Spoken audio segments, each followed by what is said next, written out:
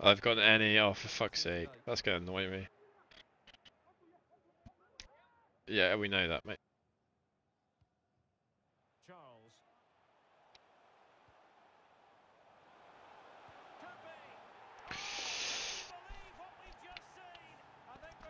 I wasn't across my man. Love free ball. Well, here it is again, and you have to say, this is a very good